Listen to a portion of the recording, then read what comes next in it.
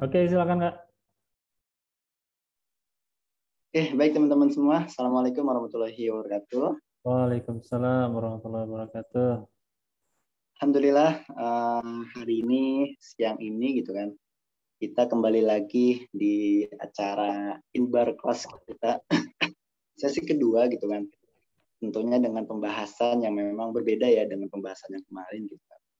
Dan uh, memang hari ini kita akan lebih dalam membahas mengenai bagaimana sih cara kita membangun uh, karakter terus plot setting gitu kan yang memang ini sangat dibutuhkan ya di dunia apa, cerpen ini gitu dalam kita membuat sebuah cerpen gitu.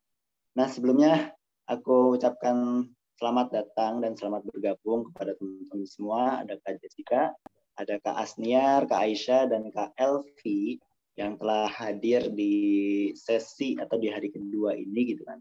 Jadi memang kalau teman-teman ada yang kemarin belum hadir, Nah, tentu tenang aja. Kemarin kita sudah membagikan ya, membagikan uh, rekamannya serta uh, powerpointnya gitu kan. Dan insya Allah hari ini pun bagi teman-teman yang memang uh, nggak hadir gitu kan, itu nanti kita akan ada materi dan link Zoom, apa link rekaman Zoom yang memang akan kita bagikan ya setiap harinya gitu. Nah, uh, sebelumnya ini memang aku senang banget gitu kan di hari kedua ini alhamdulillah masih kasih kesempatan untuk bisa sedikit berbagi kepada teman-teman semua mengenai uh, sebetulnya melanjutkan ya melanjutkan pembahasan yang kemarin gitu kan kalau memang kemarin kita membahas mengenai bagaimana sih cara kita gitu sebagai penulis mencari sebuah ide gitu kan uh, atau sumber tulisan kita untuk nantinya kita tulis gitu kan nah kemarin sudah kita bahas, gitu sudah kita bahas panjang lebar dan uh, ide saja memang tidak tidak tidak cukup ya teman-teman ya untuk menjadi sebuah cerita yang utuh gitu kan. Nah sebuah ide memang perlu adanya uh, apa tokoh di dalamnya, terus perlu adanya setting gitu kan atau alur, terus perlu adanya uh, apa namanya sudut pandang dan lain sebagainya gitu kan. Yang memang ini saling keterkaitan gitu. Nah kita pengennya uh, selama tiga hari ini gitu kan kemarin hari ini dan besok gitu teman-teman diberikan uh, pemahaman-pemahaman yang memang nantinya ketika teman-teman uh, mulai menulis gitu kan ketika teman-teman mulai menulis cerpen itu teman-teman uh, apa ya nggak nggak begitu kesulitan dan dan mudah lah dalam menulisnya gitu nah ini makanya kita dua hari ini kita coba maksimalkan untuk mencari ide dan membangun plot dan lain sebagainya gitu. Mungkin Kak Sigit bisa dibantu share. Oke. Okay. Wait.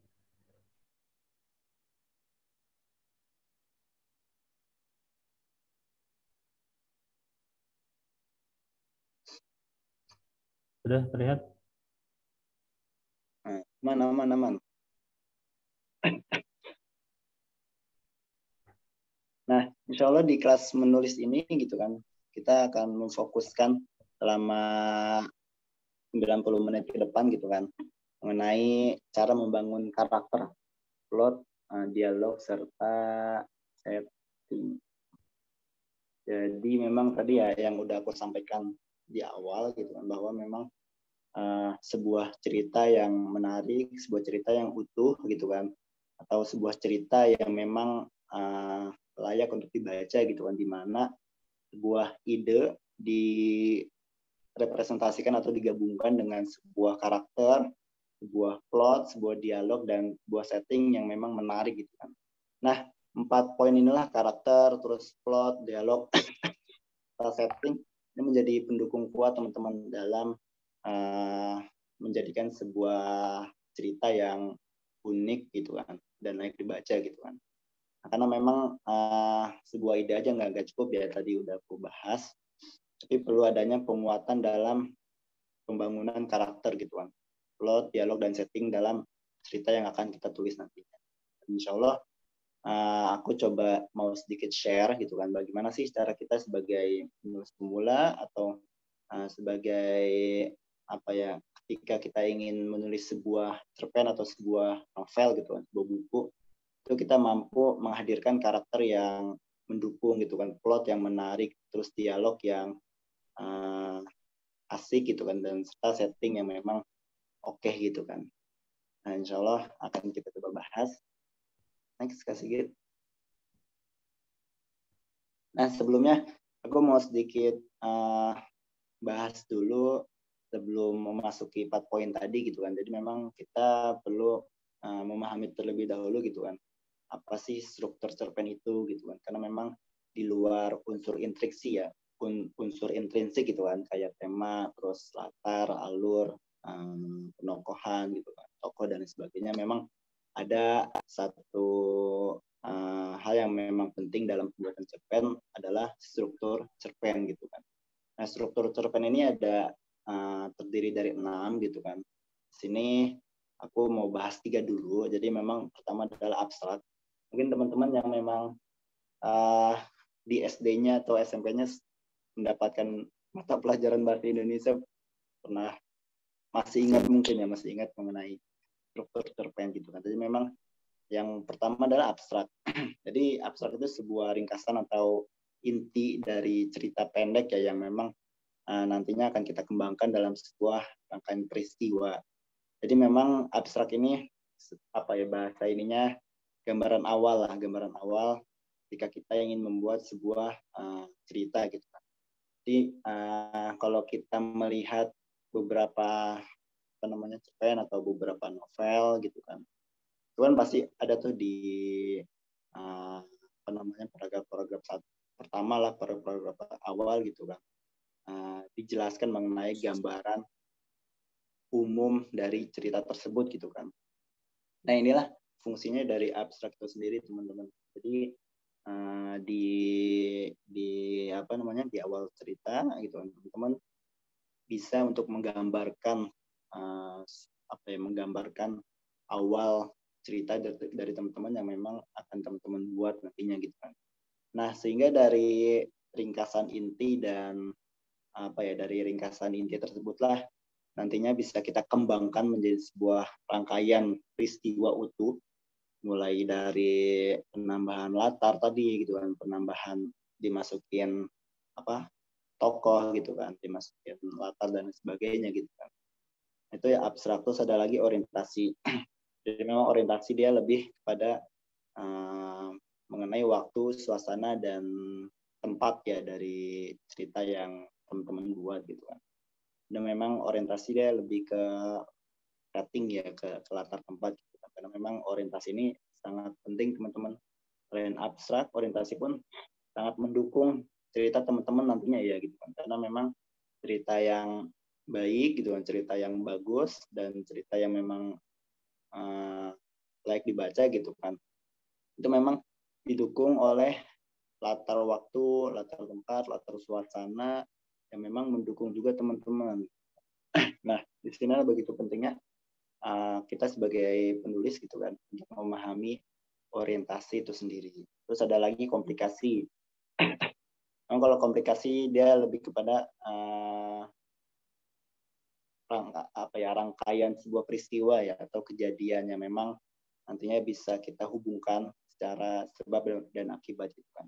Itu kan kalau kita kembali lagi ketika kita membaca sebuah cerpen atau sebuah novel pasti kan ada yang namanya uh, konflik ya konflik itu yang permasalahan. Itu kan nggak nggak mungkin apa seorang penulis langsung apa namanya langsung menghadirkan sebuah permasalahan begitu saja tanpa adanya akibatnya eh tanpa adanya sebabnya gitu kan. Dan nggak mungkin juga setiap konflik nggak ada akibatnya pasti ada akibatnya gitu. Nah komplikasi inilah juga sangat berperan penting menurutku gitu kan karena memang uh, komplikasi ini memberikan suasana yang berbeda gitu kan pada sebuah cerita terus tentunya memberikan nuansa yang menegangkan gitu kan karena kan sebuah cerita yang unik juga kan harus ada permasalahan yang ada juga di dalamnya. Nah ini uh, tiga un, tiga struktur cerpen ada abstrak, orientasi dan komunikasi. Selanjutnya kak. Nah, selanjutnya ada evaluasi, resolusi, dan koda. Jadi evaluasi ini dia struktur konflik yang terjadi dan uh, mengarah pada klimaks gitu. Klimaks itu kan sebuah besar dari permasalahan konflik itu, itu sendiri ya gitu kan. Jadi memang dievaluasi uh, di bagian evaluasi ini bagaimana sebuah struktur konflik gitu yang yang sudah terjadi gitu kan atau yang sudah teman-teman buat itu mengarah kepada klimaks gitu atau benang merah yang yang nantinya uh, pembaca diketahui gitu kan. Nah ini ini sangat sangat menjadi apa ya uh, menjadi sangat penting juga bagi kita gitu kan menghadirkan konflik-konflik uh, yang memang konflik tersebut ada ininya loh apa ada ujungnya dan ada uh, penyelesaiannya gitu atau klimaks tersebut gitu kan. Memang ini penting juga untuk kita perhatikan gitu kan bagaimana ketika kita nantinya bikin sebuah cerpen, sebuah cerita gitu kan. Itu eh, konflik-konflik yang memang teman-teman hadirkan semua, konflik-konflik yang memang teman-teman semua sudah buat itu mampu uh, menjadikannya sebuah klimaks dari cerita tersebut gitu atau dari benang merah tersebut. Terus ada lagi resolusi. Resolusi memang pengarang atau penulis mulai mengungkapkan solusi yang dialami tokoh gitu kan. Kalau evaluasi lebih kepada konflik, kalau resolusi kepada uh, solusinya nih gitu kan.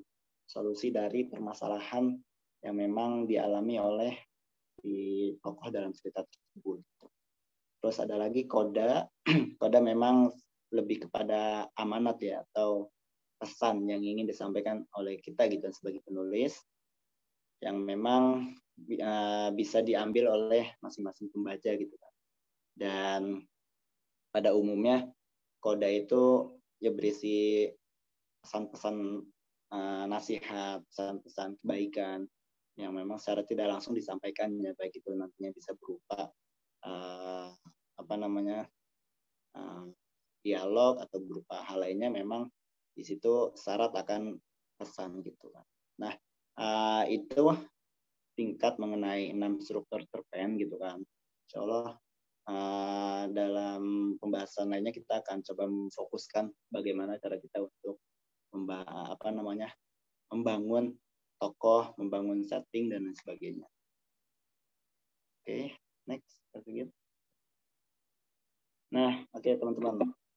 Jadi aku ingin nanya dulu nih teman-teman semua sudah bergabung di sesi Zoom siang hari ini. Teman-teman ada yang tahu perbedaan tokoh dan penokohan? Mungkin yang yang tahu bisa raise hand atau bisa memberikan jawabannya di kolom komentar. Iya, jadi memang teman-teman uh, tokoh dan penokohan ini sebuah hal yang berbeda ya tentunya ya gitu. Jadi kalau kalau kita melihat apa ya uh, sebuah cerita atau sebuah drama gitu kan, itu kan pasti ada yang namanya tokoh, terus ada juga yang namanya penokohan gitu. Nah, Kak Jadi ngasih jawaban nih. Tokoh adalah seseorang yang memang sudah dan sudah melekat dalam diri seseorang. Oke, itu memang jawabannya uh, Kak Teddy, tapi memang uh, ada lagi penokohan seseorang yang memang kita bangun karakternya. Itu. Jadi memang tokoh itu uh, apa ya seseorang yang memang sudah sudah kita buat uh, uh, dalam tokoh tersebut ya gitu kan atau kalau penokohan dia lebih kepada karakter yang memang sudah kita bangun, sudah kita uh, berikan kepada setiap tokoh gitu kan. Jadi kurang lebih penokohan itu sebuah karakter ya, sebuah karakter atau sebuah sifat yang memang ada terdapat di dalam tokoh tersebut gitu kan. Oke, nah ini next lagi kak.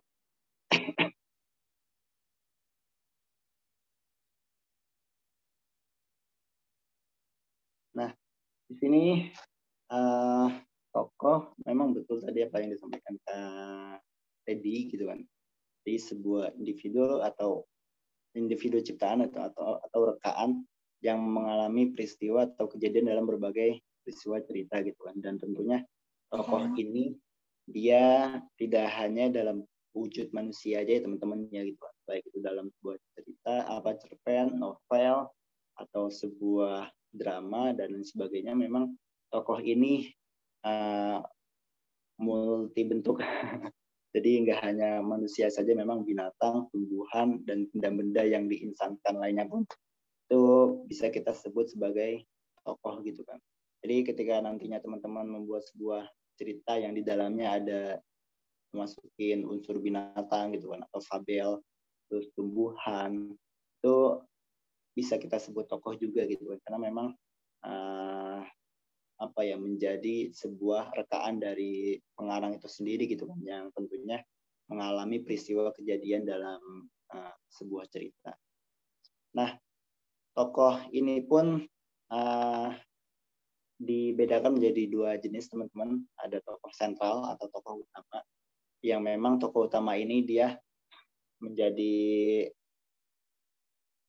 kunci penting ya atau berperan penting dalam sebuah cerita itu sendiri gitu kan. Karena kan pastinya ada sebuah tokoh sentral itu sendiri atau sebuah uh, tokoh utama sendiri yang memang menjadi gambaran dari sebuah cerita itu gitu kan. Nah, tokoh sentral itulah uh, perlu kita bangun juga gitu kan bagaimana uh, tokoh utama ini mampu menghadirkan suasana yang memang atau menghadirkan karakter yang memang uh, kita mau gitu kan misalkan ketika kita ingin mengangkat mengenai uh, dengan tema cinta gitu kan dengan tema cintanya apa namanya anak kepada orang tua misalkannya. Maka yang bisa kita hadirkan tokoh utamanya adalah seorang anak gitu seorang anak baik itu kakak ataupun adik gitu kan.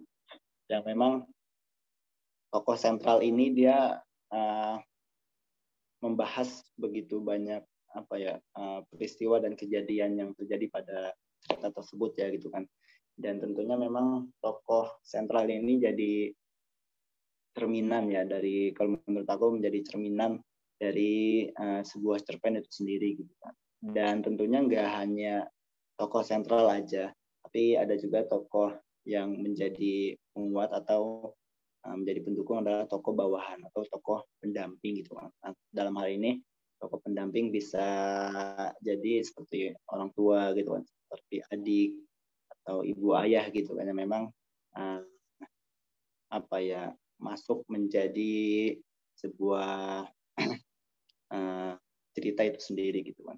Nah ini mengenai tokoh gitu kan. Jadi uh, bagaimana tokoh ini yang aku lihat jadi hal yang penting gitu kan karena tanpa tokoh tanpa uh, apa ya tokoh atau orang yang kita masukin gitu kan ceritanya. Itu kurang kurang kurang asik gitu kalau kalau menurut aku ya. Jadi memang cerita atau uh, cerpen yang asik terus yang keren tentunya yang uh, like dibaca adalah para penulis yang memang dia mampu menghadirkan tokoh-tokoh baik itu tokoh sentral ataupun tokoh pendamping yang tentunya dengan karakteristik yang berbeda-beda ya. Oke, next, sedikit.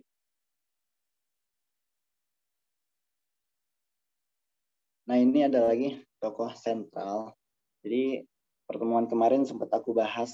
Uh, jadi akan ada beberapa apa namanya ada beberapa karakter ya, baik itu protagonis, antagonis dan tertagonis gitu kan. Nah, sebelumnya kak, sebelumnya kak. Nah, sebelumnya lagi. Nah, jadi di tokoh sentral ini dia uh, mesti memiliki salah satu karakter teman-teman. Jadi uh, mana mungkin gitu kan atau mustahil jika kita mampu uh, membuat sebuah tokoh sentral atau tokoh utama yang memang dia memiliki dua dua kepribadian atau dua apa namanya dua penokohan gitu kan. Jadi me, jadi memang dalam hal uh, tokoh sentral ini kita dapat menentukan nih kira-kira tokoh utama ini dia memiliki karakter seperti apa gitu kan apakah protagonis atau antagonis gitu hanya memang kalau protagonis dia lebih kepada uh, perwatakan atau karakter yang positif dan tentunya dapat menyampaikan nilai-nilai yang positif ya gitu kan terus kalau antagonis memang uh, bertentangan nih dengan uh, protagonis ya atau lebih kepada menyampaikan nilai-nilai negatif gitu kan. kalau kalau kita membaca ulang kembali cerpen-cerpen atau novel-novel yang udah teman-teman baca kan pasti ada tuh karakter-karakter unik gitu kan karakter-karakter yang di mana tokoh tersebut uh, karakternya jahat gitu kan. Uh, tokoh tersebut karakternya baik gitu kan. Atau protagonis atau antagonis. Nah memang dalam menghadirkan sebuah cerita yang utuh gitu kan tokoh sentral atau tokoh utama ini memang sangat mesti didukung juga dengan dua uh, dua peristiwa ini ya atau dua dua karakter ini gitu protagonis atau antagonis. Karena ini menjadi sebuah bumbu unik tersendiri dalam sebuah cerita gitu kan. Jadi kalau kita mengangkat tentang uh, tema cinta di keluarga gitu kan antara orang tua dengan anak, maka yang bisa kita hadirkan adalah sentral uh, tokoh sentral protagonisnya gitu kan yang bagaimana sebuah anak uh, seorang anak itu uh, menjadi pribadi yang nurut ke orang tua gitu kan yang berbakti pada orang tua terus uh, mengikuti perintah-perintah orang tua gitu kan. Sebaliknya kalau dia uh, memiliki karakter yang antagonis gitu kan maka ya sudah buat aja cerita yang nanti anaknya uh, membangkang orang tua gitu kan terus melawan orang tua dan sebagainya gitu. Jadi memang kita bisa banget uh, dibebaskan untuk bisa menentukan apakah tokoh sentral atau tokoh utama yang nantinya kita uh, hadirkan itu uh, memiliki sifat yang protagonis atau antagonis. Oke, okay. okay, next. Nah ini ada lagi tokoh bawahan teman-teman. Jadi tokoh bawahan yang tadi udah jelaskan, ini menjadi tokoh pendukungnya atau tokoh yang membantu tokoh sentral tersebut gitu kan.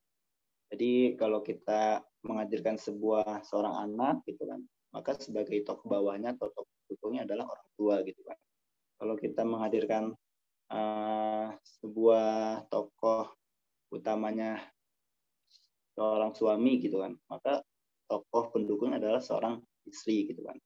Dan cerita-cerita lainnya gitu kan. Dan tokoh bawahan ini pun dia punya tiga uh, kriteria gitu ada tokoh andalan tokoh tambahan dan tokoh lataran gitu jadi kalau tokoh bawah tokoh andalan memang tokoh bawahan yang menjadi kepercayaan bagi tokoh sentral tersebut gitu kan jadi menjadi orang yang orang yang dapat dipercaya oleh si tokoh andalan tersebut atau tokoh uh, tokoh sentral tersebut gitu kan nah ini pun bisa bersifat protagonis atau antagonis ya gitu kan.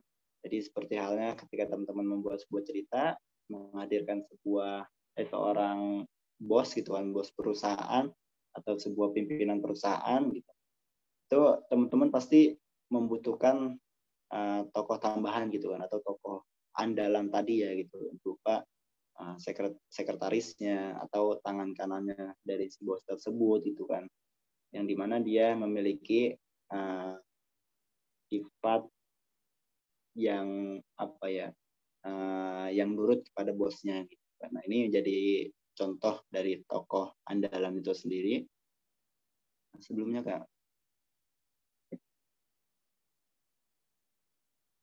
Nah terus ada lagi tokoh tambahan. Jadi tokoh tambahan memang uh, tokoh yang sedikit sekali memegang peran dalam peristiwa cerita ya gitu. Jadi uh, berbeda dengan tokoh utama atau tokoh andalan gitu. Kalau tokoh tambahan memang dia hanya sebagai uh, kiasan aja atau hanya sebagai uh, figuran saja gitu kan, sebagai figuran saja yang sebagai figuran yang mendukung uh, dari sebuah cerita cerita tersebut. Jadi memang tokoh tambahan ini uh, meskipun sedikit sekali memegang peran uh, memegang peran gitu kan. Tapi aku rasa ini sebagai penguat juga sih atau sebagai pendukung juga ya dari sebuah uh, cerita gitu kan.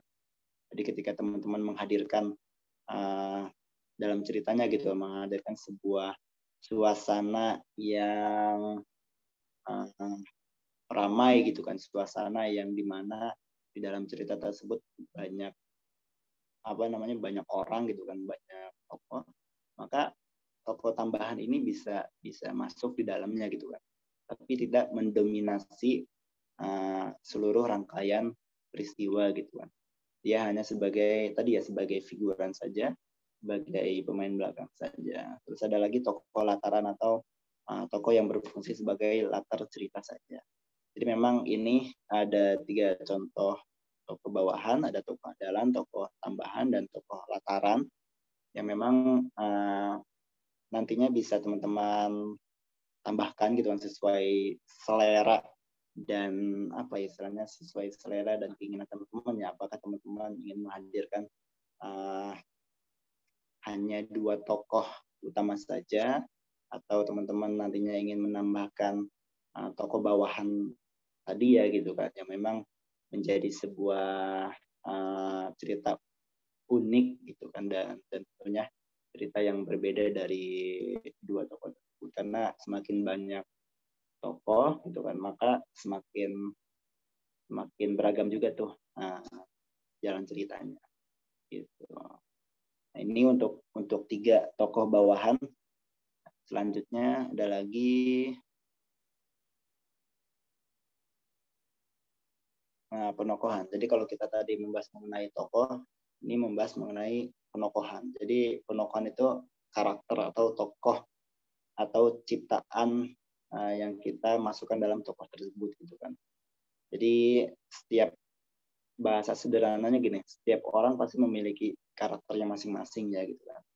Nah, karakter itulah yang namanya penokohan gitu kan. Kalau orangnya sebut tokoh gitu. Jadi seperti halnya teman-teman yang ada di sini ada Kak siapa Feby, terus uh, Asnia dan sebagainya gitu kan. Termasuk kepada uh, tokoh gitu kan. Tapi kalau penokohan adalah karakter atau sebuah watak yang memang ada pada diri Kasnia, terus Kak Teddy dan sebagainya. Gitu kan. Nah memang untuk uh, dalam hal penokohan ini itu ada dua metode analis analitis dan metode dramatik gitu atau metode langsung atau tidak langsung. Nah, kalau metode langsung ini dia lebih kepada penyajian ya, penyajian watak sebuah tokoh dengan cara memaparkan tokoh tersebut secara langsung gitu kan. Jadi uh, kalau kita membaca novel novelnya misalkan novel Ayat Cinta gitu kan, itu kan bagaimana Kang Abi gitu kan saat itu menggambarkan uh, karakter dari Fahri tersebut gitu kan sebagai tokoh utamanya gitu sebagai mahasiswa Indonesia yang tinggal di Mesir gitu kan terus aktif apa uh, mahasiswa Al terus aktivitas sehari-harinya jualan tempe gitu kan.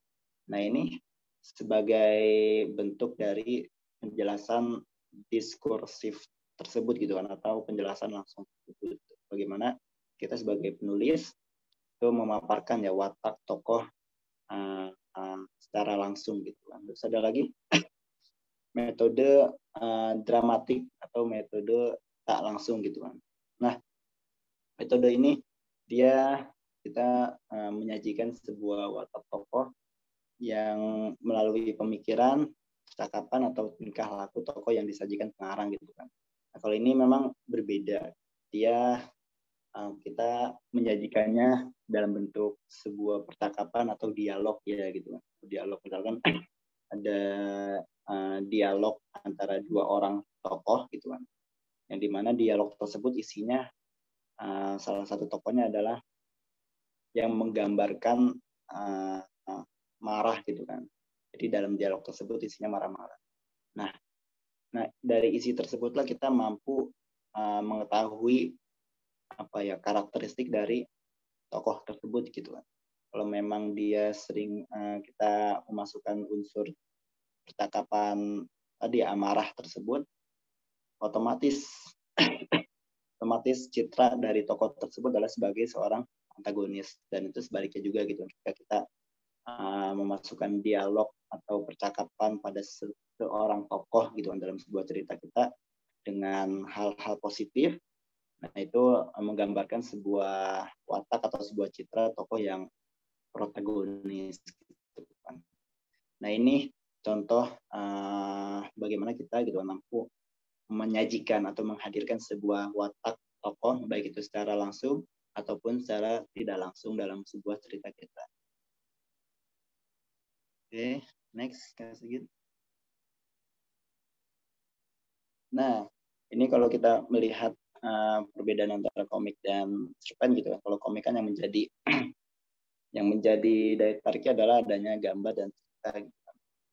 Nah, dalam karya yang bagus pun dan sesuai dalam hal cerpen pun gitu kan kita bisa banget teman-teman memberikan uh, daya tarik tersendiri gitu kan untuk cerpen kita dengan uh, menghadirkan tokoh yang baik gitu kan tokoh yang bagus tokoh yang unik dan tentunya dia uh, mampu menjadi sentral tadi ya gitu kan dan dalam karya yang bagus itu kita bisa banget menemui seseorang dan mengenalnya lebih dalam. Terus menemukan diri kita sendiri dalam bentuk sama. Jadi memang kalau kita dirasa bingung gitu kan ketika ingin uh, membuat penokohan itu kita bisa banget uh, mengapa ya uh, mengetahui dari dari orang lain gitu kan.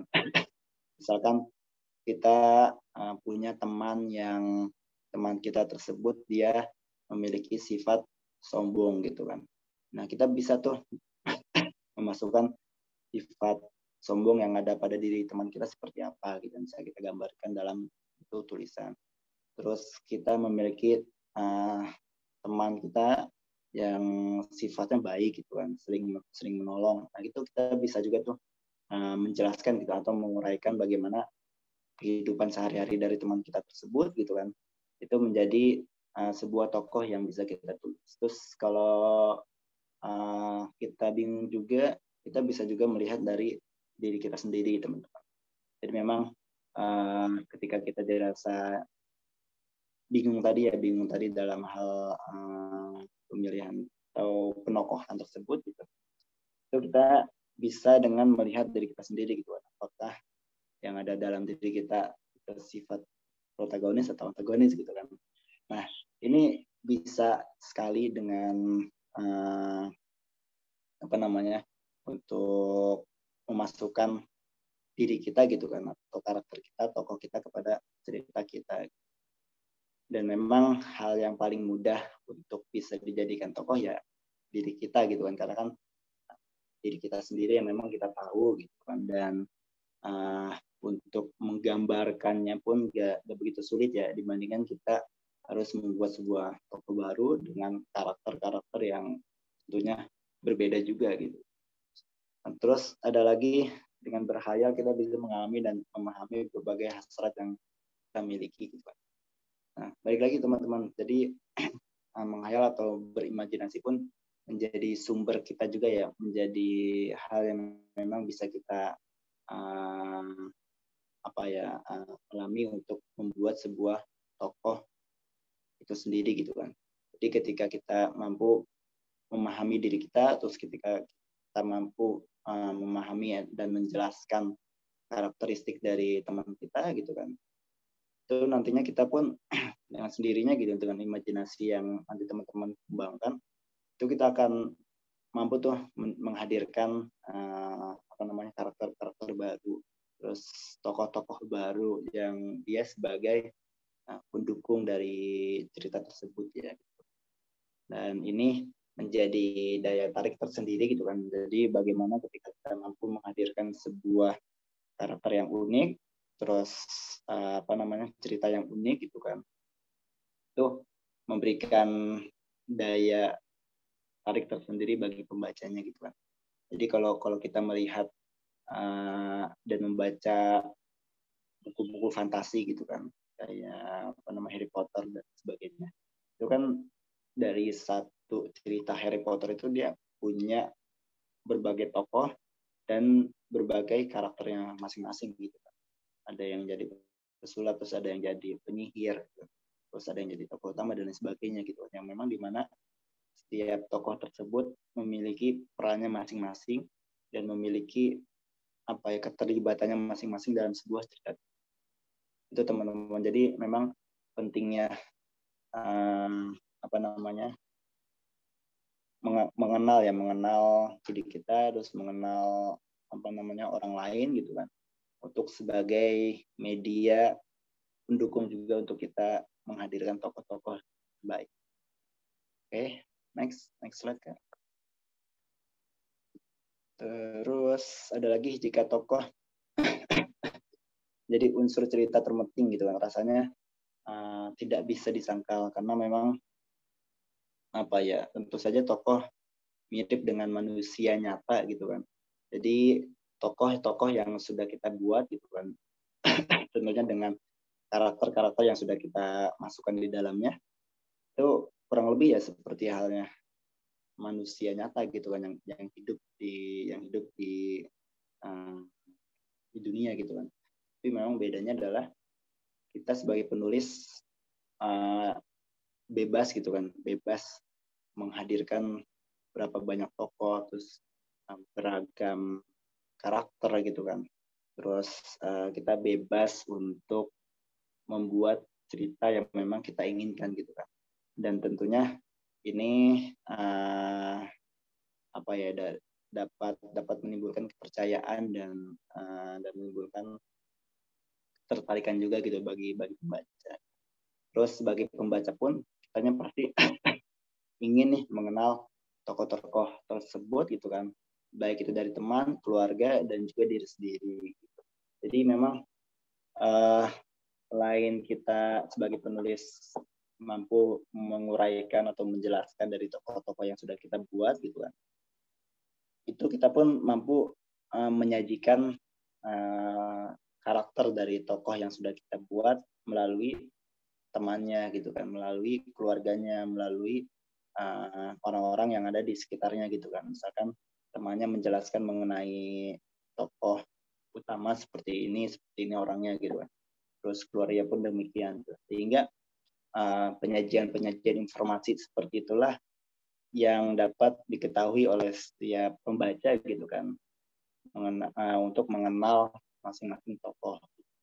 Nah, kalau kita uh, melihat nih, kalau kita melihat gambar yang ada di samping, ini kan ada beberapa tokoh ya.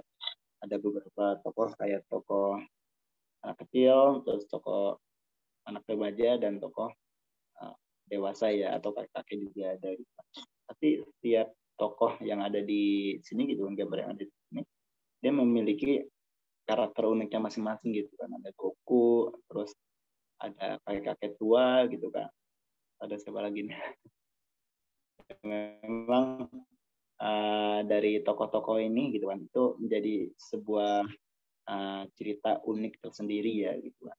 Karena uh, dia yang memiliki sifat antagonis dia yang memiliki sifat protagonis dia yang memiliki sifat protagonis uh, gabung menjadi satu cerita nah itu untuk hal yang mesti kita pahami. Terus ada lagi next slide. Nah terus uh, bagaimana sih untuk kita menghidupkan seorang tokoh gitu? Dan tentunya kita sebagai seorang penulis itu uh, tidak tidaklah cukup berperan sebagai penulis ya. Tapi memang kita juga harus berperan sebagai pencerita gitu kan. Yang mampu menceritakan sebuah peristiwa kejadian dan uh, kenapa gitu kan? Karena penciptaan karya memiliki tahap mengubah dan penampilan gitu kan jadi kalau kita uh, masih bermindset sebagai penulis tapi tidak sebagai pencerita gitu kan itu ada ada hal yang memang kurang dalam cerita tersebut gitu kan. kalau kita hanya sebagai penulis ya kita hanya mampu menguraikan menuliskan gitu kan tanpa harus uh, tanpa bisa menceritakan secara detail dari masing-masing tokoh tersebut gitu kan. Kalau kita memang mampu nih menjadikan diri kita sebagai penulis serta pencerita yang baik gitu kan maka kita akan menghadirkan tokoh-tokoh yang memang tadi ya memiliki uh, banyak karakteristik terus tokoh-tokoh yang unik tokoh-tokoh yang dia memiliki uh, daya apa ya istilahnya perannya masing-masing gitu nah karena itu tidak heran gitu jika ada penulis yang berawal hanya dari memunculkan tokoh-tokoh gitu kan terus mengenalnya begitu dekat dan kemudian dari tokoh itu sendirilah akan bergerak Eh, akan menjadi sebuah cerita yang utuh.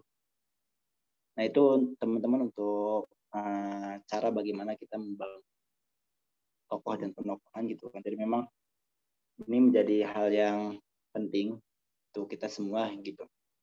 Jadi kita bagaimana sebagai seorang uh, penulis dan tentunya menjadi seorang pencerita gitu kan.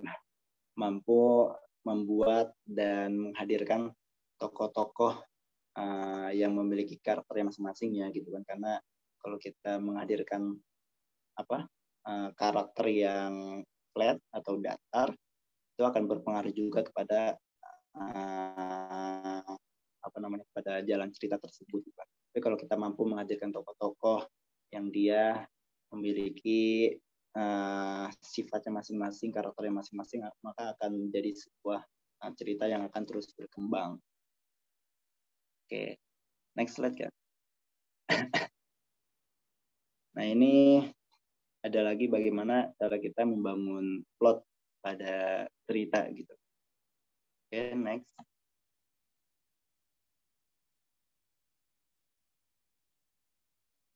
Nah, mungkin teman-teman uh, ada yang paham juga gitu, ada yang sudah paham mengenai plot atau alur ya, alur atau jalannya cerita gitu kan. Jadi memang plot ini menjadi unsur intrinsik yang penting untuk kita masukkan dalam sebuah cerita pendek ataupun novel gitu kan lebih panjang. Jadi peristiwa-peristiwa atau rangkaian-rangkaian rangkaian cerita yang mengandung unsur sebab akibat gitu kan. Sehingga membentuk sebuah rangkaian peristiwa yang utuh gitu. Dan ini uh, plot ini menjadi apa ya menjadi unsur intrinsik yang sangat mendukung gitu kan. Karena uh, mana mungkin kita sebagai seorang penulis gitu kan itu tidak menghadirkan cerita-cerita atau rangkaian peristiwa gitu. Kan pasti dari awal uh, pertengahan sampai akhir pasti akan ada sebuah rangkaian cerita ya gitu kan dan memang plot ini dia dibedakan berdasarkan urutan waktu gitu kan. Jadi ada yang secara kronologis dan ada yang secara uh, flashback atau sorot balik gitu. Jadi kalau kronologis uh, dia um, menjelaskan ya, menjelaskan atau plot lurus gitu apa namanya plot maju gitu kan. Yang di mana dia um, menjelaskan kronologis dari sebuah rangkaian peristiwa tersebut gitu dan ada lagi dia flashback atau sorot balik gitu. Nah, sorot balik ini memang agak unik juga yang aku lihat dan pernah aku baca gitu.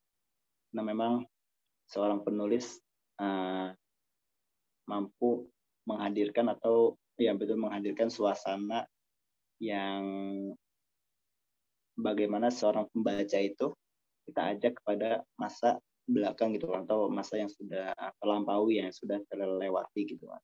Nah flashback ini memang kita menjelaskan gitu kan kita uh, jelaskan uh, bagaimana peristiwa-peristiwa dulu telah terjadi gitu kan sehingga nanti dari sebuah kejadian flashback tersebut menjadi uh, apa menjadi sebuah alur jadi ini untuk uh, apa namanya penjelasan mengenai plot atau alur itu sendiri gitu kan. Jadi memang yang aku uh, menurutku gitu kan alur plot ini sangat menentukan ya sangat menentukan apa namanya sangat menentukan ke mana kita ingin menulis gitu kan. Arah tujuan tulisan kita mau ke mana nih gitu. Terus itu mulai dari awal terus uh, hingga akhir gitu. Sehingga dari plot alur tersebut bisa kita tentukan uh, di awal gitu. Jadi ketika teman-teman semua nantinya sebelum uh, menulis sebuah cerita pendek kan kemarin udah udah sempat aku bahas ya mengenai membuat draft ya atau rangkaian mentahnya gitu itu bisa juga nih teman-teman nantinya buat gitu bagaimana nanti plotnya alurnya seperti apa di awal mau seperti apa terus di pertengahan cerita mau seperti apa di akhir cerita mau seperti apa sehingga nantinya jika teman-teman mulai proses uh, nulis gitu kan itu tidak tidak merasa kesulitan. Nah, ini untuk plot terus ada lagi? Next nah uh, terus bagaimana kita menghadirkan plot yang berbeda pada plot sebelumnya gitu kan. Nah, ini ada empat unsur. Kita menghadirkan uh, plot yang memang apa ya itu menurutku oke okay lah gitu kan. Um, bagaimana di di pertama ini kita mampu memberikan uh, apa ya plot yang masuk akal gitu. Alur yang masuk akal gitu. Jadi cerita yang memiliki logis ya gitu kan kalau bisa di bagaimana cerita yang nantinya kita buat itu sebisa mungkin harus masuk akal gitu atau plausibilitas nah dari uh, cerita logis inilah sehingga nantinya seorang pembaca gitu seorang pembaca mampu memahami apa yang ingin kita sampaikan ya gitu. Mampu memahami apa yang kita tulis gitu kan. Kalau kita sudah menghadirkan uh, latar yang atau plot yang enggak masuk akal gitu kan. Tiba-tiba teman-teman menghadirkan suasana apa latar ruang angkasa gitu kan di bulan. Sedangkan teman-teman menjelaskan mengenai uh, kejadian-kejadian yang ada di bumi. Itu kan sebuah hal yang memang uh, masuk akal ya gitu. Terus ada lagi rasa ingin tahu gitu kan jadi perasaan kurang pasti terhadap peristiwa yang terjadi khususnya yang menimpa tokoh kemudian kita beri uh, simpati oleh pembaca gitu. Jadi bagaimana apa istilahnya kita sedemikian mungkin mampu menghadirkan rasa ingin tahu bagi pembaca gitu kan jadi pasti pembaca sebagai orang yang membaca tulisan kita gitu sebagai orang yang membaca kita pasti uh, ingin ingin tahu nih gitu kan dari kelanjutan atau dari uh, cerita yang akan kita buat gitu. Nah tentunya rasa ingin tahu inilah memang perlu kita hadirkan ya sebagai seorang penulis gitu kan sehingga uh, nantinya seorang pembaca itu uh, mampu apa ya mampu memberikan rasa simpatinya kan. Terus ada lagi kejutan. Nah peristiwa ini memang dibangun uh, oleh sebuah oleh pengarang tanpa diduga-duga gitu kan. Kadang kita kalau membaca apa namanya novel-novel itu kan ceritanya suka gantungnya gitu kan. Suka, suka kita kita suka dibuat uh, gantung gitu jalan ceritanya nah ini di sebuah uh, di balik cerita itu ada sebuah surprise itu sendiri gitu, sebuah kejutan itu sendiri gitu. Sehingga uh, harapannya tidak tidak memberikan rasa bosan kepada uh, pembaca ya gitu. Dan memang peristiwa-peristiwa kejutan ini sendiri pun perlu kita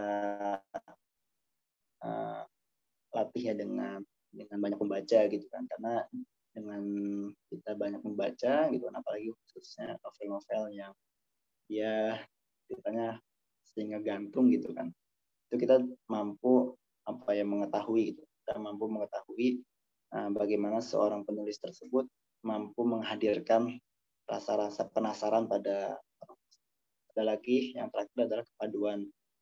Uh, ini memang masuk pada unsur intrinsik gitu dalam sebuah cerpen mereka membentuk kepaduan yang utuh. Jadi mulai dari kemasuk akalan, terus rasa ingin tahu, terus rasa kejutan ini pun masuk kepada uh, kepaduan tadi ya gitu. Bagaimana latar atau ya latar dari teman-teman yang sudah buat dari awal sampai akhir itu menjadi kepaduan sebuah cerita yang utuh. Oke, ini untuk ada lagi kak next slide.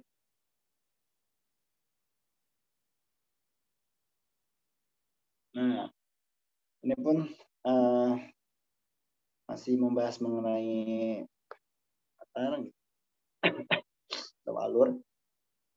Nah, biasanya di alur itu pasti akan adanya konflik, konflik yang yang terjadi ya. Sempat kemarin sempat aku bahas juga mengenai konflik dan memang uh, alur itu sendiri menjadi unik dan menjadi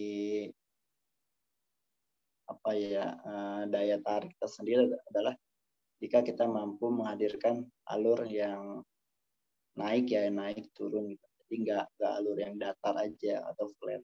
Tapi kita mampu menghadirkan uh, dari mengenalkan cerita gitu kan. Terus mulai adanya konflik gitu kan menuju konflik terus mulai terjadinya konflik terus kemudian bisa nah, alur-alur seperti inilah yang memang uh, kita mampu membawa uh, uh, perasaan di pembaca gitu atau imajinasi si pembaca untuk mengikuti semua kejadian-kejadian yang sudah kita buat dalam sebuah cerita gitu. Misalkan kita di awal mengenalkan dulu nih mengenalkan sebuah tokoh-tokohnya gitu kan dengan karakternya masing-masing. Terus kita mengenalkan suasana hanya uh, latar yang ada di sana, itu suasana tempat yang ada di sana seperti apa. Terus kita um, sedikitnya mulai masuk kepada konflik ya, menuju kepada konflik. Terus konflik seperti apa? Terus ya ada penurunan konflik dan ada Nah, alur-alur seperti inilah memang uh, dirasa sangat penting bagi, kita gitu sebagai seorang penulis yang di mana uh, alur ini menghadirkan uh, apa ya istilahnya perbedaan tersendiri ya gitu kan daripada kita menghadirkan alur yang flat, alur yang datar gitu kan. Tapi dengan menghadirkan alur yang naik turun naik turun gitu kan itu uh, mampu menjadi daya tarik daya tarik tersendiri bagi pembaca. Oke, okay. uh, next slide kak. Nah, terus ada lagi, bagaimana nih cara kita untuk membangun uh, dialog pada sebuah cerita. Ya, jadi memang kita tahu dialog sangat sangat penting dan menjadi pendukung bagi sebuah cerita ya gitu kan. Jadi kalau kita tadi sudah membahas mengenai uh, namanya karakter gitu kan tokoh dan alur, nah, dialog pun menjadi penting juga teman-teman untuk mengetahui uh, apa sih isi dari sebuah cerita tersebut. Nah ini coba kita akan bahas mengenai cara kita membangun dialog. Next. Nah, uh, dalam membuat sebuah dialog cerita memang kita apa ya jangan uh, atau sekuat mungkin untuk menghindari dari percakapan sehari-hari gitu. Jadi kita coba untuk membuat dialog di luar uh, di luar itu gitu. Terus yang kedua pun kita uh, jangan mengulang narasi gitu.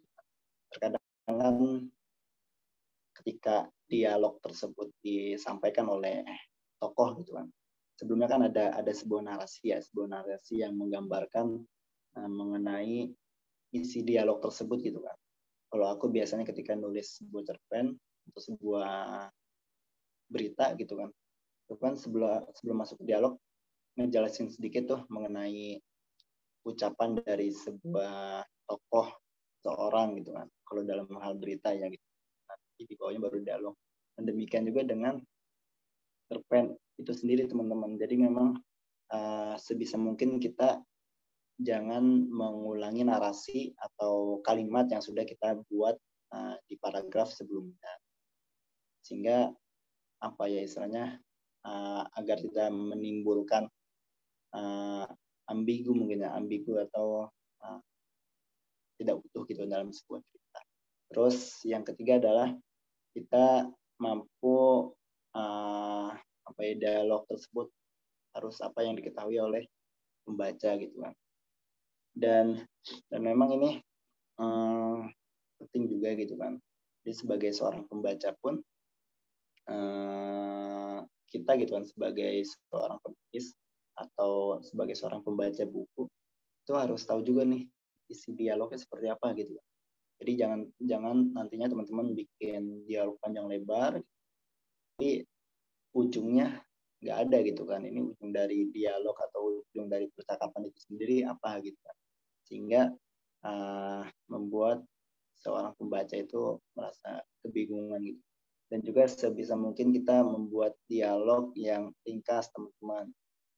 Yang ringkas dalam hal ini nggak nggak bejibet kulit terus nggak nggak apa ya istilahnya nggak banyak istilah-istilah akademisi gitu kan istilah-istilah yang memang uh, membuat pemahaman pembaca kurang gitu kan. Nah, uh, sebisa mungkin kita membuat uh, sebuah dialog yang ringkas, terus tambahkan bahasa tubuh juga pada seorang tokohnya, terus juga hindari ejekan tentunya ya karena kan uh, ini sebagai hal yang negatif juga dalam sebuah dialog. Nah di slide selanjutnya ini ada ada contoh dari sebuah dialog. Next.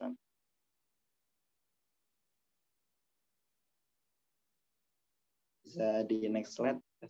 Nah, ini aku ambil contoh dari sebuah apa namanya kejadian yang memang kejadian kecelakaan gitu kecelakaan yang menimpa uh, Nindi gitu kan jadi aku ngambil ceritanya ketika mereka pulang gitu kan mereka pulang di dalam sebuah perjalanan gitu sebuah uh, mobil yang sedang berlaju di jalan itu mulai ada perasaan tidak enak dalam uh, jiwa Nindi gitu. Ini kan aku masukin nih perasaanku nggak enak banget ya gitu. Aku cemas. Nah, jadi ketika ketika ketika si dialog tersebut diucapkan gitu kan di di kalimat selanjutnya ada sebuah perasaan yang memang menggambarkan dari dialog tersebut teman-teman. Gak mungkin kan ketika perasaanku nggak enak banget ya gitu ucapku penuh semangat gitu kan nggak mungkin tapi bagaimana kita mampu menghadirkan uh, keresahan atau mampu menghadirkan uh, suasana ya suasana batin dari seorang tokoh tersebut. Jadi kalau kita hanya memasukkan perasaanku gak enak banget ya tanpa ada ucapku penuh cemas itu seperti halnya uh, ada yang kurang gitu kan. Tapi ketika kita mampu menambahkan uh, kalimat tambah gitu kan seperti ucapku penuh cemas maka di apa uh, secara tidak langsung memberikan sugesti ya kepada pembaca gitu kan mengenai perasaan dari si tokoh tersebut terus ada lagi udah landi gitu kan. Santai aja kita nggak bakal kenapa-kenapa kok gitu. Jawab Andri dengan santai. Nah ini dua tokoh yang berbeda ya gitu kan antara uh, Nindi dengan Andri ya gitu kan. Yang memang di mana Nindi memiliki kekhawatiran kecemasan lebih uh, saat jalan pulang sedangkan Andri santai-santai aja gitu. nah, terus uh, di perjalanan tidak lama setelah itu yang dikhawatirkan Nindi terjadi Aris awas gitu depan ada jurang gitu. teriak Nindi nah jika kita menghadirkan masalah uh, konflik yang apa namanya atau dialog yang tegang gitu kan terus bisa mungkin kita memasukkan apa namanya simbol uh, tanda seru gitu kan sebagai simbol penegas ya gitu, sebagai simbol terus ah oh, gitu pelan aku buka mataku sedikit demi sedikit dan aku melihat ibu berada di sana jadi ketika uh, Nindi dan teman-temannya mengalami kejadian tabrakan gitu kan itu nanti uh, apa namanya Nindi disadarkan gitu. Nindi mulai disadarkan oleh ibunya yang ternyata posisinya sudah berada di rumah sakit. Nah, dialog-dialog inilah yang memang kalau kita melihat di akhir katanya gitu kan pasti ada kalimat tambah ya. Halnya Nindi kamu sudah sadar nak? Gitu. Tanya ibuku gitu. Nah di sini sudah jelas nih bahwa yang nanya adalah ibunya Nindi gitu kan bukan teman Nindi atau saudara Nindi gitu. Tapi ibunya Nindi yang tanya. Terus ada lagi ibu aku di mana? Gitu. Di mana anak? Andri dan Aris. Nah, terus kata ibunya Andi eh kata ibunya Nindi kamu di rumah sakit nah gitu. Kamu yang sabar ya Andri dan Aris dan tolong di lokasi kecelakaan jawab ibu sambil men air mata. Di sini kondisi si ibunya jelas ya gitu kan. Nah, dia ngasih tahu ke anaknya bahwa teman-temannya itu sudah tak terselamatkan ya atau sudah meninggal terus uh, dengan bentuk mendidikan air mata tersebut ketika kita membaca uh, air mata tersebut berarti sudah jelas bahwa si ibu tersebut si tahun ini dengan uh, dengan nangis gitu kan dengan rasa terpukul gitu Aku terdiam mendengar ucapan ibu dan air mataku menetes. Tangisku tiada henti mendengar pernyataan. Jadi memang uh, sudah sudah jelas ya teman-teman ketika kita mampu uh, menghadirkan dialog antara dua orang atau lebih, sebisa mungkin kita menambahkan juga kalimat penguatnya di di akhir di akhir ininya gitu di akhir dialog. Oke, next slide, uh, Sigit.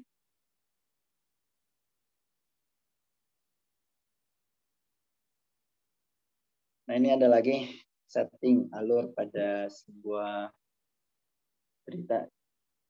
Jadi uh, ini masuk juga kepada bagian intrinsik gitu kan. Jadi bagaimana kita um, mampu menghadirkan setting setting tempat, setting waktu, atau setting suasana yang memiliki daya unik tersendiri ya teman-teman gitu. Jadi kita uh, dalam sebuah cerita yang nantinya kita buat dalam sebuah cerita yang itu kita mampu menghadirkan suasana yang berbeda ya gitu. Suasana yang di mana menggambarkan suasana waktu, jiwa dan suasana uh, Nah ini di slide selanjutnya. Nah, jadi memang setting atau alur ini dia mengacu kepada uh, tiga hal, teman-teman.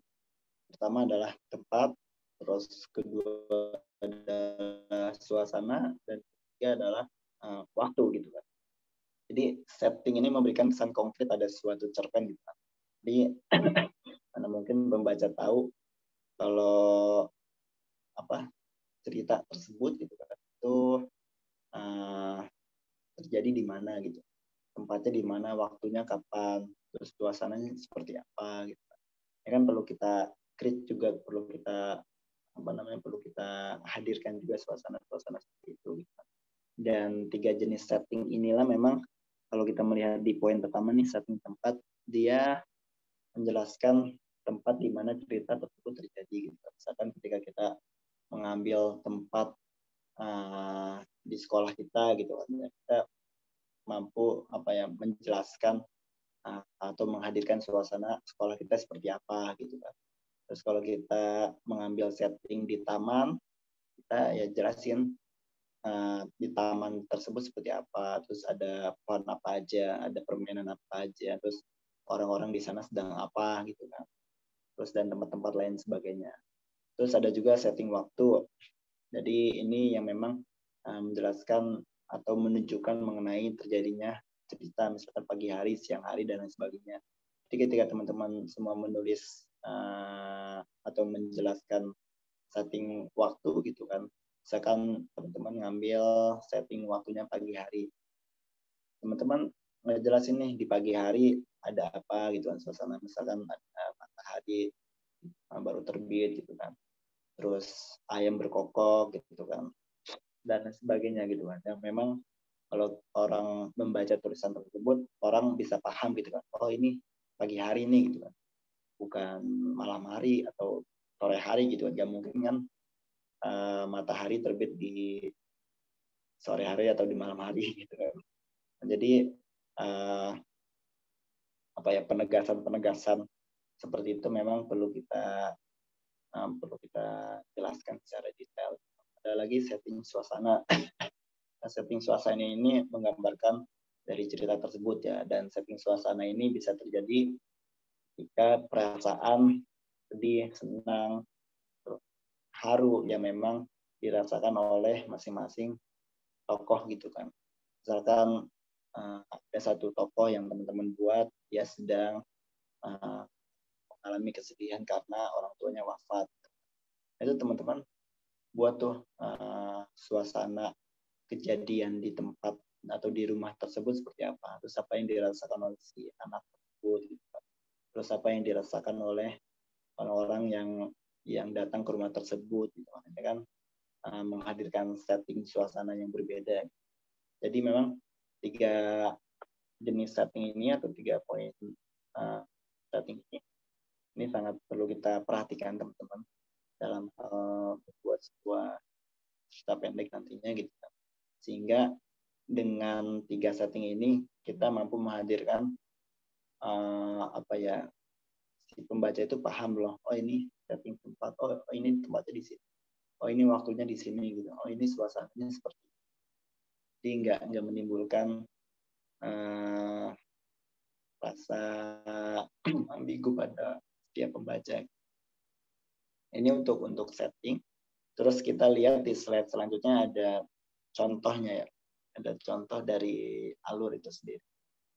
Nah, kalau teman-teman baca mengenai apa namanya mengenai nah, teks di slide ini Arjo Winangun gitu kan. Pasar induk di Kabupaten Pacitan ini seakan tak pernah mati. Selalu hidup mendenyutkan jantung setiap penduduknya yang selalu bergumul dengan aktivitas tiada hati. Ini kan udah jelas ya, gitu kan. Jadi latar tempatnya ya di Arjo Winangun gitu kan, nama pasar induk di Kabupaten Pacitan gitu kan. Yang di mana seolah-olah pasar ini tuh gak nggak apa ya tiada henti dengan aktivitas para masyarakatnya gitu kan. Aktivitas jual beli dan lainnya sehingga kita sebagai pembaca ketika membaca uh, Arjo Winangun ini kita tahu gitu oh Arjo Winangun ini sebagai pasar induk di Kabupaten Terus dijelasin juga letaknya yang tepat di jantung kabupaten membuatnya selalu ramai dari aktivitas perdagangan yang makin hidup pikuk dari hari ke hari seiring dengan perkembangan sebuah kabupaten yang kecil yang miskin dan akan sumber daya. Tapi tetap kaya akan kebersahajaan penduduknya yang berhartakan bukit dan gunung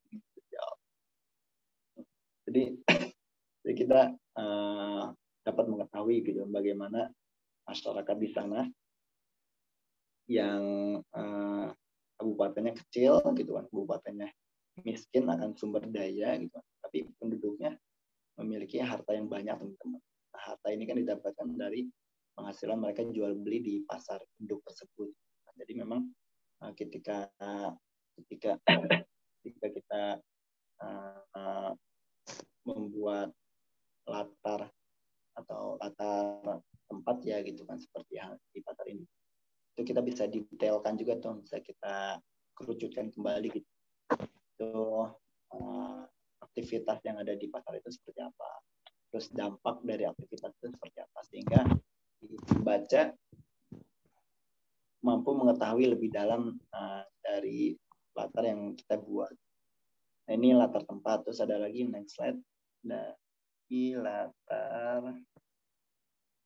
Nah, ini teman-teman bisa sambil baca. Hujan kini berangsur-angsur.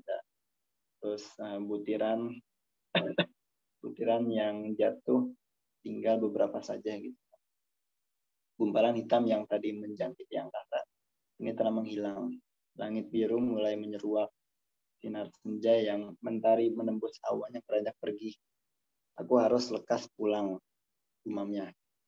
Nah ini teman-teman tahu nggak? Ini termasuk uh, latar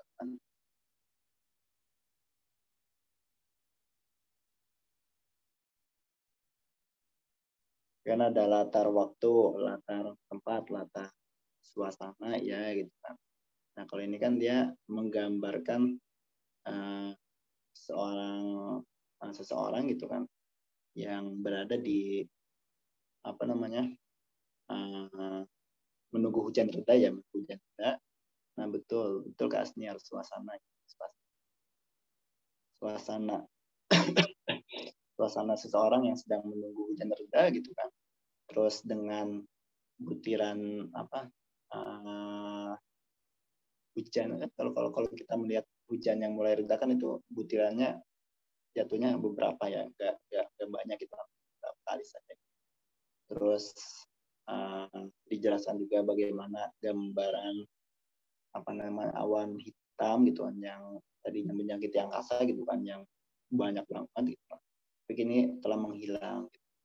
terus langit biru mulai menyeruak dalam artian yang awalnya apa namanya awalnya langit gelap gitu kan dipenuh dengan kempalan awan hitam tapi ini kembali tergantikan oleh langit biru gitu terus sinar senja sang mentari menembus awan yang beranjak pergi. Jadi memang ini mengabarkan uh, apa namanya latar suasana juga ya gitu. Suasana juga. Terus latar waktu juga bisa karena ini menggambarkan yang menggambarkan uh, suasana dari si apa si seseorang tersebut. Terus ada lagi yang terakhir.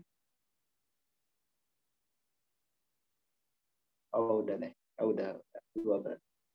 Jadi itu untuk untuk contoh dari latar itu sendiri gitu kan dan dan tadi kita sudah membahas mengenai bagaimana sih cara kita mampu membangun karakter, membangun plot, terus membangun uh, latar gitu kan, membangun setting, sama membangun dialog. Gitu. Jadi uh, empat poin penting itu memang aku rasa menjadi poin yang perlu kita perhatikan juga gitu kan, bagaimana nantinya ketika teman-teman semua menulis sebuah cerita pendek itu empat poin itu mesti masih masuk semua teman-teman. Jadi mulai dari karakter uh, tokoh yang teman-teman buat gitu kan, itu menjadi pendukung dari cerita itu sendiri.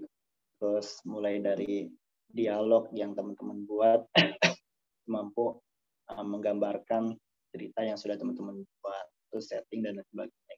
Sehingga empat poin itu sendiri nantinya teman-teman mampu uh, menghadirkan sebuah cerita yang memang memiliki daya unik, daya tarik, dan tentunya daya minat baca itu sendiri ya. Oke, mungkin itu yang bisa aku sharing pada sore hari ini. Jadi kalau teman-teman ada yang ingin bertanya melalui mengenai materi siang hari ini, bisa banget disampaikan, bisa raise hand, open mic, atau bisa melalui open ini lewat chat. Silakan mungkin dari Kak Jessica atau Kak Melinda, Kak Niar, Kak Inas, Kak Sabdia, Kak Aisyah, dan Kak Tawang ingin bertanya atau ada yang masih bingung mengenai uh, materi pada siang hari ini, itu bisa ditanyakan langsung Kak.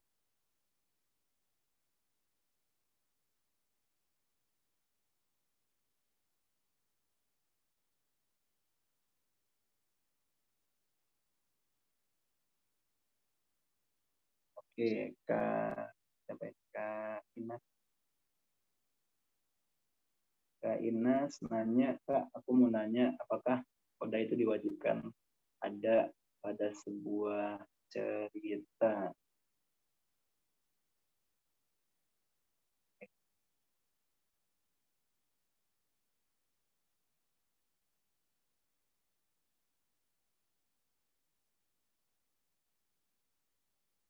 ada lagi kak. Dia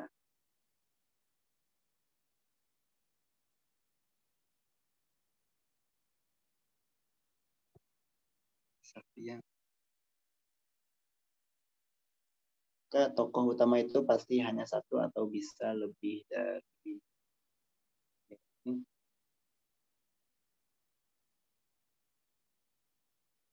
Terus ada lagi yang ingin bertanya, nah ada kayak Syaka, apa saja yang wajib ada di dalam sebuah cerita. Oke, ini aku coba jawab pertanyaan dari Kak Inas terlebih dahulu ya.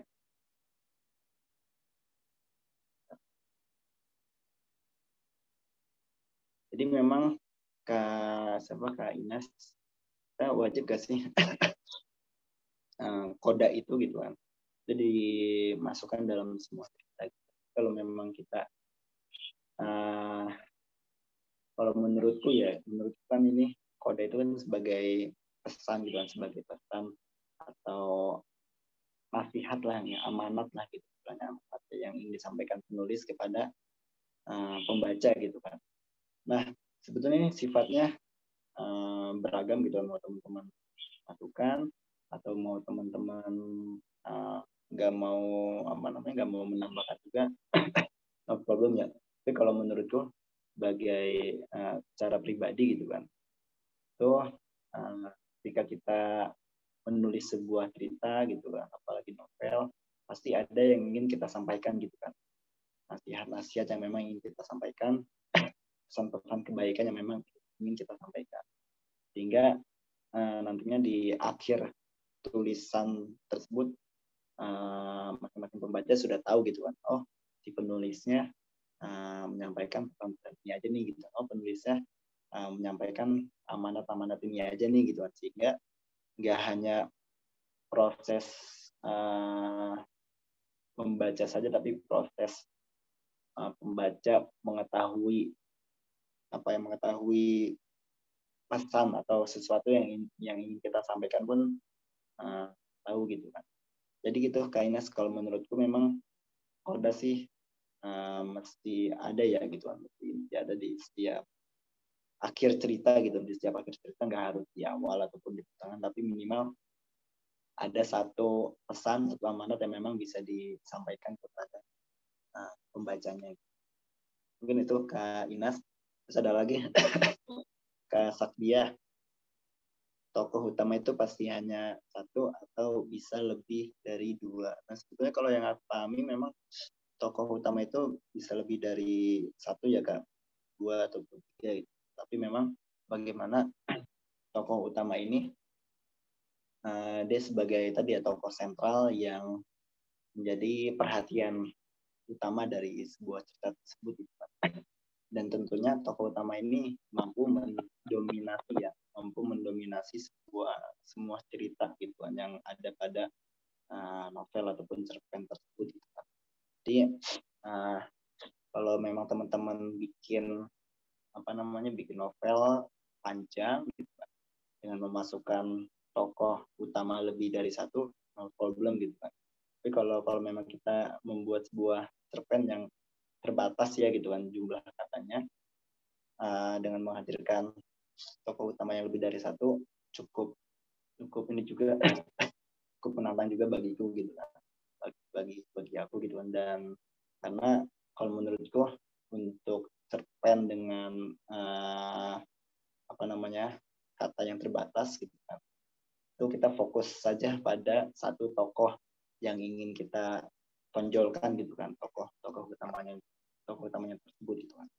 Dan juga kan tokoh dalam dalam membangun citra atau karakter tokoh tersebut kan nggak nggak begitu cukup hanya dengan satu dua paragraf saja gitu kan. Tapi memang perlu adanya uh, penekanan penekanan dan penjelasan penjelasan di di aspek-aspek lainnya gitu. Nah itu sih kalau kalau yang uh, aku pahami ya gitu kan.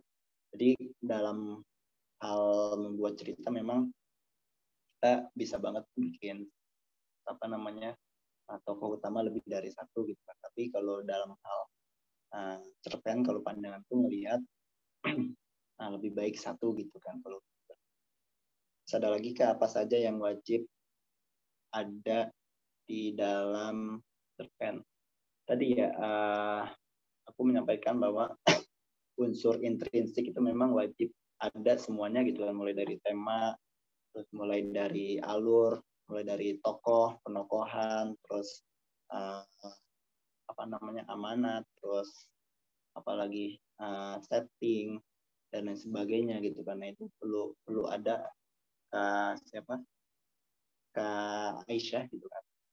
Dan ini kan perlu ini juga ya istilahnya uh, tadi yang sudah Kak Farhan jelaskan ya gitu kan. Mulai dari bagaimana kita mampu membangun karakter yang unik gitu kan. Terus bagaimana kita mampu membangun plot uh, cerita yang berbeda daripada orang lain gitu kan. Kita mampu membangun uh, konflik gitu kan atau masalah dari cerita tersebut. Jadi memang unsur-unsur intrinsik itu semuanya uh, wajib ya uh, berada dalam satu cerpen gitu kan. Sehingga nggak hanya karakter saja terus nggak hanya plot saja tapi uh, cerpen pun perlu didukung tadi oleh setting oleh dialog yang memang sebagai penguat dari cerita itu sendiri. Jadi memang uh, itu sih kita perlu mengetahui dulu ya unsur inti tadi terus dan struktur cerpen tadi ya yang sudah laporan jelaskan di awal kayak abstrak, orientasi, komplikasi, evaluasi, resolusi, dan koda. Jadi itu Kak Aisyah jawabannya. Jadi kalau memang ditanyakan apa saja yang perlu ada dalam cerpen, jawabannya ya semua unsur intrinsik. Yang tadi masuk tema, terus apa namanya karakter, tokoh, plot, dialog, setting, alur dan sebagainya itu masuk semua dalam cerpen. Mungkin seperti itu. Kak Inas, Kak Sakdia, dan Kak Aisyah. Ini kita ada waktu 7 menit lagi.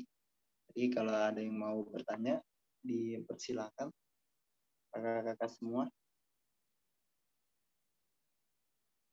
Dan juga insya Allah uh, untuk materinya dan apa namanya rekaman zoomnya nanti akan kami share ke grup seperti kemarin. Jadi teman-teman yang uh, mungkin tadi ketinggalan gitu kan mengikuti kelas hari ini bisa baca ulang di materi ku yang nanti yang nanti akan di share ataupun yang masih bingung mengenai penjelasanku nanti bisa dilihat lagi di videonya gitu. Dan insya Allah uh,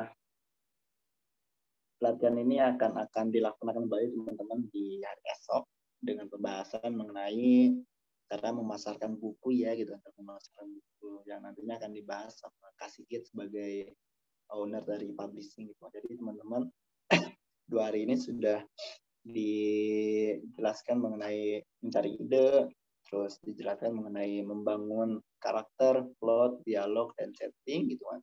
Jadi secara bahan teman-teman sudah punya untuk menulis sebuah cerpen.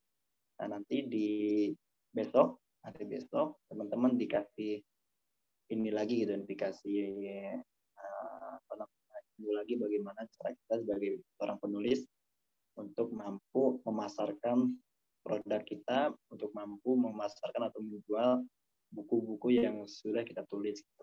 Tentunya kan teman-teman nggak nggak mau nih uh, buku yang teman-teman tulis gitu kan itu cuma teman-teman doang yang baca gitu tanpa harus orang lain baca. Jadi teman-teman uh, nanti setelah buku jadi gitu kan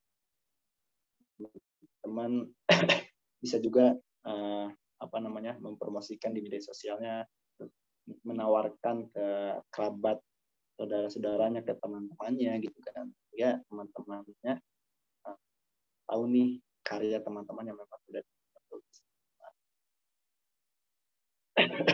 jadi mungkin itu yang bisa Kak Farhan sampaikan pada uh, pertemuan hari ini. Jadi untuk teman-teman semua yang uh, ingin bertanya atau masih bingung bisa tanya di grup atau bisa japri ke Kafarhan gitu kan. Atau bisa japri ke panitia lainnya. Dan insya Allah besok kita akan bertemu kembali di, di sesi terakhir ya teman-teman ya di sesi terakhir. Terus di hari berikutnya teman-teman mulai menulis buku gitu kan. Dan tentunya nanti ketentuan menulis bukunya akan kita share ya teman-teman ya, eh, dari panitia gitu kan. Mulai dari uh, pakai font apa aja ukurannya seperti apa terus uh, ukuran marginnya berapa gitu kan. Terus ketentuan uh, biografi teman-teman berapa kata. Nanti akan kita share ketentuannya di grup gitu.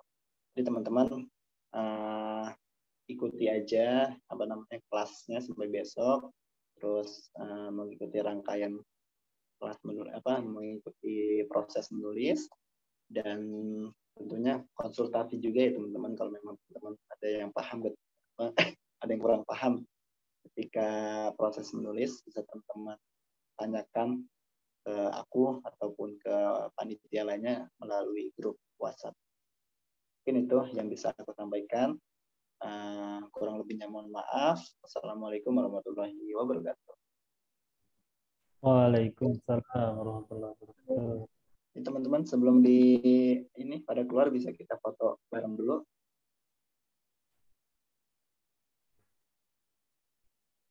Ya untuk untuk kakak-kakak nih yang uh, memungkinkan buka open cam-nya bisa Kak, Kak Afnia, Kak Melinda, Kak Inas, Kak Sakdia, Kak Tawang, dan Kak Aisyah. Mungkin kita bisa dokumentasi dulu Kak. Yo, yang sudah buka, sudah buka ini dapat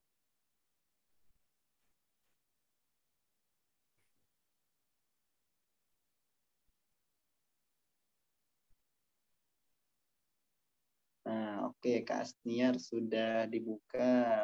Ini Kak Asniar di mana dibuka?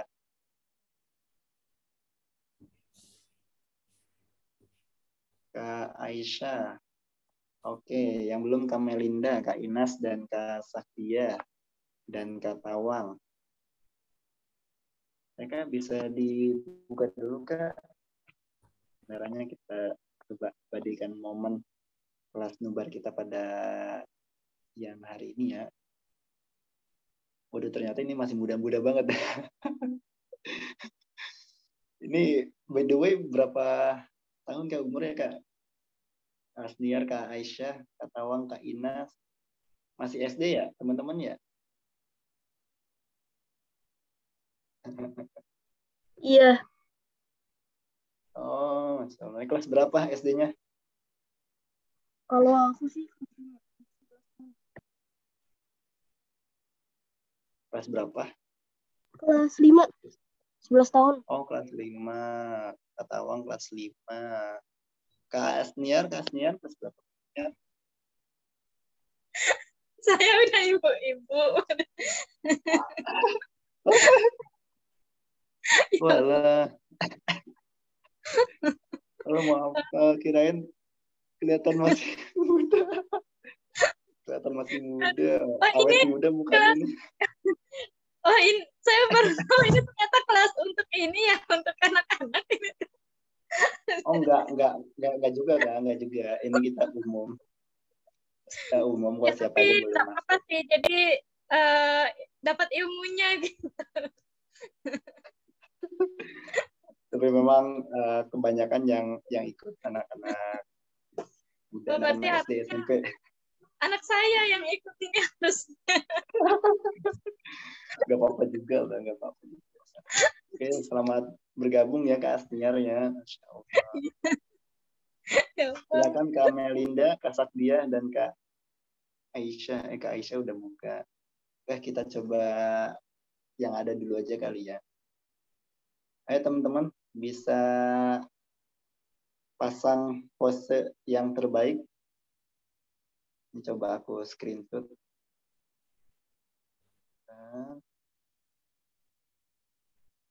Iya. Yo.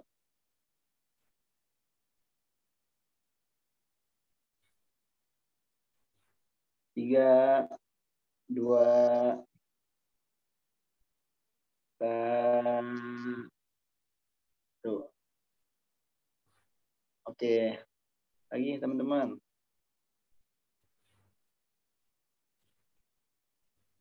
Tiga, dua, satu. Oke, sekali lagi. Yang tiga ya. Tiga, dua,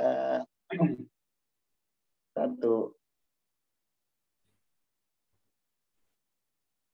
Oke, terima kasih teman-teman atas pertemuan hari ini.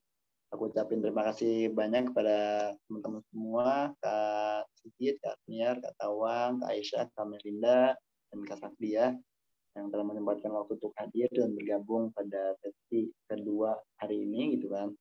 Dan uh, semoga teman-teman besok hadir kembali dan semoga juga uh, semuanya dimudahkan gitu kan dalam proses menulis dan proses perjualan tunas. Mungkin itu dari aku. Terima kasih sekali lagi. Assalamualaikum warahmatullahi wabarakatuh. Waalaikumsalam warahmatullahi Waalaikumsalam warahmatullahi wabarakatuh. Terima kasih.